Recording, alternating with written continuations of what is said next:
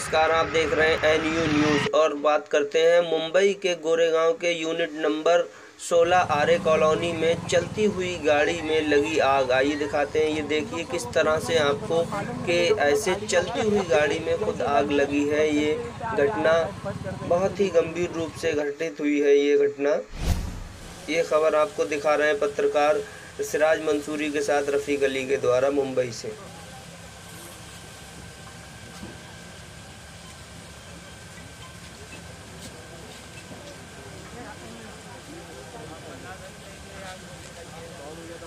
Thank you.